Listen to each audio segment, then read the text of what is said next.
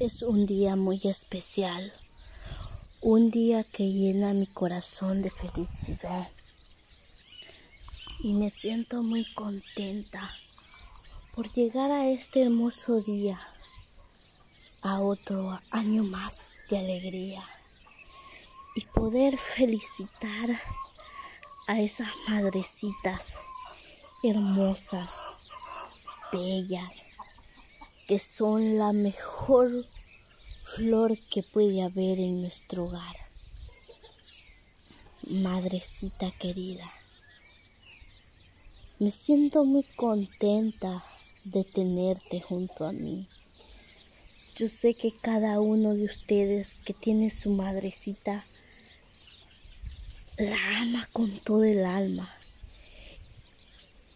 y la que ya no la tienen, desean tenerla para poder darle un abrazo este día, para poderle decir, madrecita, te amo, pero ya ella ya no está, está en un lugar mejor. Pero también ella desde ya los ve y les manda muchos besos y abrazos porque las mamás son lo mejor que puede haber en esta vida. Son unas mujeres luchadoras que ellas siempre buscan la manera de ayudarnos. Y aunque ya estemos grandes, ellas siempre están ahí cuando más necesitamos son unas mujeres guerreras. Es lo más bonito que hemos tenido en toda la vida. Una madre luchadora es la esperanza de cada uno de nosotros. Que cuando llegamos a casa, vemos ahí esa señora que anda caminando para todo lado haciendo el quehacer del hogar, haciendo todo lo posible por tenerlos nuestra comidita a tiempo, por tenerlos una ropa lavadita.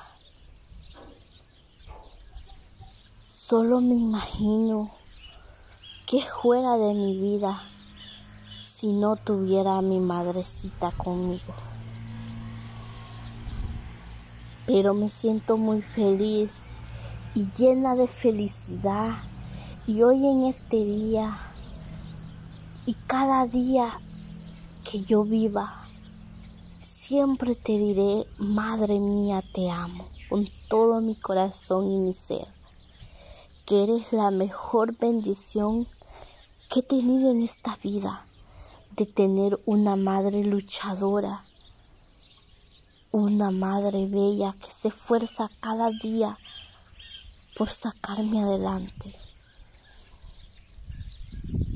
Gracias, madrecita. Mil gracias. Eres la mejor. Y le pido a Diosito que cada día te bendiga más y más y que te mantenga alentadita para que puedas luchar siempre y seguir adelante. Que siempre puedas estar ahí regañándome, aconsejándome y dando lo mejor de ti siempre cuidemos a nuestras madres y valorémoslas ahora que podemos, porque tal vez ya el día de mañana queramos hacerlo. Y lastimosamente ya sea demasiado tarde. Ahora es el día y la oportunidad que si hemos ofendido a nuestra madre, pidámosle disculpa y digámosle cuánto la amamos y la queremos. Y que siempre que ella necesite, puede confiar en nosotros. Que siempre que ella sienta desmayar, puede confiar en ti y en mí. Así es que cuidemos y demos lo mejor de nosotros a mamá en este día.